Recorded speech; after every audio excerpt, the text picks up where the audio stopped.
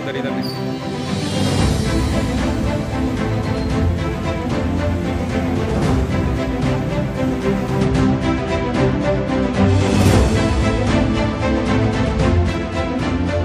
आपको बता दें कि बिहार के अगले सीएम उपेंद्र कुशवाहा होंगे। ये हम नहीं कह रहे हैं। ये मुजफ्फरपुर में लगे पोस्टर्स कह रहे हैं। जी हाँ मुजफ्फरपुर में जेडीयू के वरिष्ठ नेता उपेंद्र कुशवाहा इन दिनों बिहार यात्रा पर हैं। इसी क्रम में विभिन्न जिलों में उनके स्वागत के लिए पोस्टर्स बैनर्स लगाए जा रहे हैं। मुजफ्फरपुर समाहरणालय परिसर में भी पोस्टर लगाए गए, जिसमें उपेंद्र कुशवाहा को भावी मुख्यमंत्री बताया गया। इस पोस्टर में कई नेता हैं। पोस्टर में निवेदन अखिल भारतीय सम्राट अशोक समता परिषद मुजफ्फरपुर लिखा हुआ है, जिसको लेकर कई सवाल खड़े होने शुरू हो गए पोस्टर्स को लेकर जेडीयू के जिला अध्यक्ष मनोज कुमार ने कहा कि ये पोस्टर पार्टी को बदनाम करने के लिए लगाया गया है। उन्होंने इसकी जानकारी उपेंद्र कुशवाहा को दी है और कार्रवाई करने की मांग की है। वही राजद ने निशाना साधा है।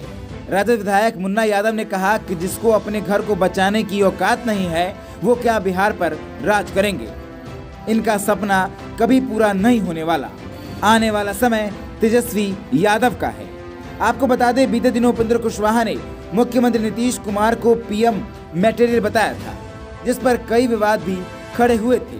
लेकिन अब इस पोस्टर के लगने से कई विवाद खड़े होने शुरू हो गए हैं।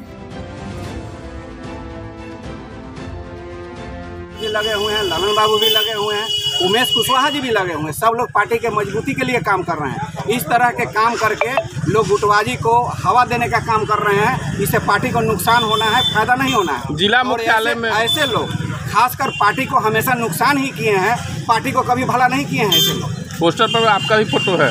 मेरा फ़ोटो नहीं है। मेरा फ़ोटो नहीं है। अच्छा। किसका लेकिन हो सकता लेकिन ये? जिनका फ़ोटो है उनसे पूछ कर नहीं लगाया गया। जिला मुख्यालय में लगा हुआ है। पोस्टर लगा है वो लोग सवाल करेंगे कि आप मेरा फ़ोटो कैसे लगा लिए? बिना हमारे अनुमति के कैसे लगा लिए? जिला मुख्यालय में लगा हुआ है सभी के पास जाएगा। ये बिल्कुल गलत है। कार्रवाई भी करेंगे क्या? निश्चित रूप से पार्टी के जो पदाधिकारी इसमें हैं उन पर कार्रवाई होगी। लगाया गया है जिसमें भावी मुख्यमंत्री घोषित किया गया उपेंद्र कुशवाहा को देखिए एक बात स्पष्ट है कि बिहार में जब तक नीतीश कुमार है मुख्यमंत्री की वैकेंसी खाली नहीं है। जब तक वो जीवित हैं बिहार का विकास निरंतर होता रहा है।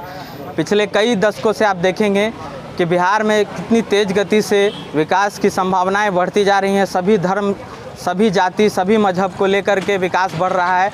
और ये पोस्टर अपने अपने इच्छा शक्तियों पे हैं, इस पे किसी पार्टी का लोगो नहीं है, इसलिए हम कोई उचित बात नहीं बताएँगे। सबकी अभिलाषा होती है अपनी अपनी कि अपने आने वाले नेताओं को अपने उच्च पद पे देखें। तो हम इस पे कोई टिका टिप्पणी नहीं करेंगे बस, लेकिन एक बात स्पष्ट कर देंगे कि बिहार में मुख्यमंत्री की वैकेंसी खाली नहीं है, जब तक माननीय मुख्यमंत्री नीतीश कुमार बिहार में उपलब्ध हैं। जितने भी लोग इस पोस्टर में शामिल हैं, रालोसपा के बड़े लोग हैं, और कहीं ना कहीं मुख्यमंत्री के साथ रहकर मुख्यमंत्री के खिलाफ ये एक बगावत का मैसेज दिया देखिए, ये राजनीतिक दल का बैनर नहीं है।